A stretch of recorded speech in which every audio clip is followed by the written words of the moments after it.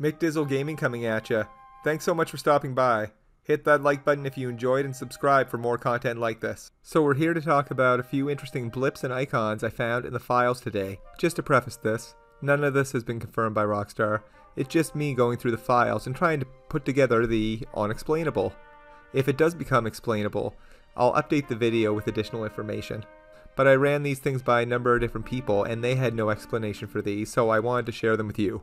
You may or may not be aware that some time ago, blips for Braithwaite and blips for Bronte were found in the game files, one for Catherine Braithwaite and one for B. Bronte.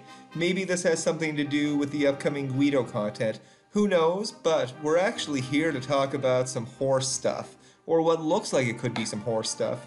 Enough horsing around. What I was able to find was two really cool looking mission blips. One is called Rustling. It looks like it could be some sort of rancher activity. Who knows though? The other one is Roundup. Very similar, you see the picture of the lasso. So these are blips you may see while going to a mission or a certain waypoint, whatever it might be. Now I can't tell precisely when these blips were added, but it looks like they've been there for quite a while. I do know that the potential horse fence sounding lines that I located were added in the update in December, so maybe there's a tie in here, maybe there's not, but it's sure fun to discuss. I'd be really curious to hear your thoughts in the comments below. The last thing I'd like to share with you is kind of a cool icon I found for a camp song. It really made me think, wow, what could this be for?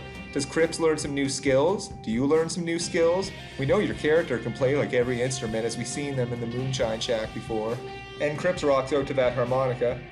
If you made it this far, thanks so much. I try to keep my videos pretty short and informative.